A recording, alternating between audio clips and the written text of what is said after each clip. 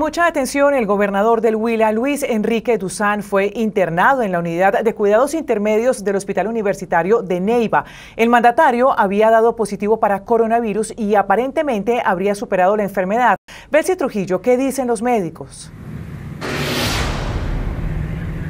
Ana Milena, pues los especialistas han dicho que el estado de salud del gobernador del departamento del Huila, el ingeniero Luis Enrique Duzán, es estable, que no ha requerido oxigenoterapia. Pero recordemos que el pasado 28 de agosto el mandatario de los huilenses dio positivo para COVID-19. Era un paciente asintomático, se tomó los días de aislamiento requeridos para estos casos y ya había retomado nuevamente sus actividades cotidianas. Pero el día de ayer empezó a sentir cansancio y dificultad para respirar. Fue entonces cuando llegó hasta el Universitario de la capital del departamento del Huila.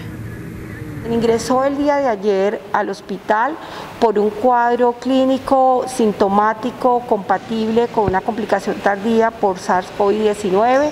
Su TAC mostró compromiso pulmonar, por lo cual el paciente fue dejado en hospitalización en el tercer piso, en cuidados intermedios, donde se están manejando los pacientes por COVID.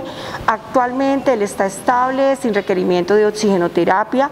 El parte médico y la Junta Médica esta mañana ha ordenado hacer una serie de exámenes complementarios para poder determinar también su pronóstico y su estado. El gobernador del Huila está siendo atendido por un grupo interdisciplinario conformado por especialistas en neumología, infectología, eh, internista vascular e intensivistas. Desde Neiva, Belsi Trujillo, Noticias Caracol.